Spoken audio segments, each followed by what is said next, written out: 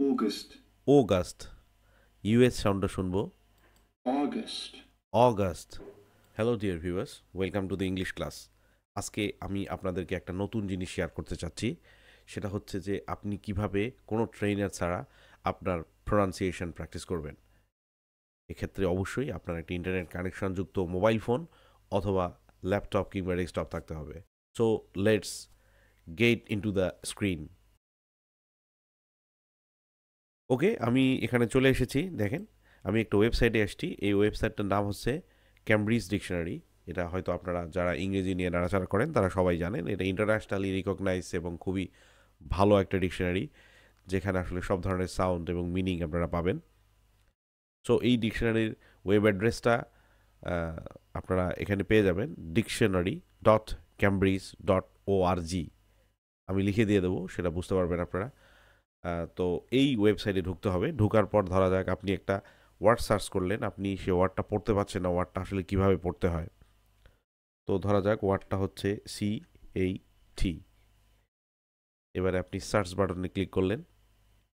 Click করার পরে এখানে শব্দটা চলে এসছে। শব্দটা আসলে একটা নাউন তো এখানে দেখেন, এখানে আছে ইউকে আবার এখানে আছে ইউএস অর্থাৎ ব্রিটিশ এবং আমেরিকান দুই দেশের সাউন্ড এখানে আছে।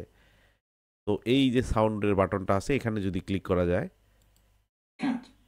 খ্যাট এটা ব্রিটিশ সাউন্ড খ্যাট একটু স্পিডি খ্যাট একটু স্লো এবং এখানে ছবি দেয়া আছে এবং খ্যাট নিয়ে ডিটেল কিছু কথা বলা আছে।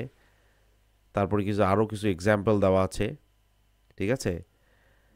তো আপনি যদি আবার আমি আবার বলি আবার একটা শব্দতে যাই শব্দটা হচ্ছে A U G U S T আমি সার্চ দিলাম। চলে আসছে আমি এখন ইউকে সাউন্ডটা শুনব।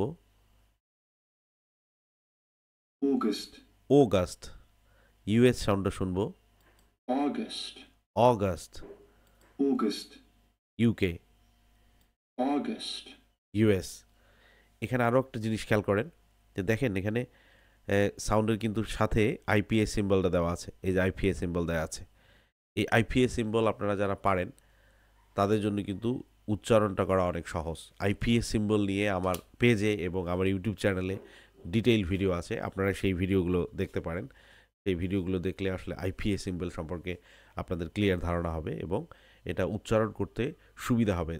আইপিএ সিম্বল যদি আপনি খুব ভালোভাবে আত্মস্থ করতে পারেন, তাহলে আসলে প্রোনাউন্সিয়েশনের যে ঘাটতি সেটা দূর হয়ে যাবে।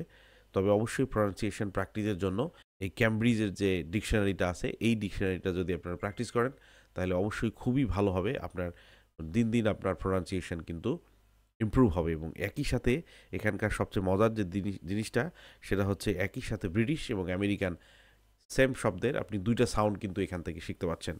সো আপনি যদি রেগুলার এটা প্র্যাকটিস করেন, তাহলে আপনার অবশ্যই প্রোনাউন্সিয়েশনে দক্ষতা আসবে। তো আশা করি ভিডিওটি আপনাদের ভালো লেগেছে। ভিডিওটি ভালো লাগলে শেয়ার করতে ভুলবেন না। এই টাইপের ভিডিও আরও পেতে চাইলে ফেসবুক পেজে ফলো দিন এবং ইউটিউব চ্যানেলে সাবস্ক্রাইব করে পাশে থাকুন। বাই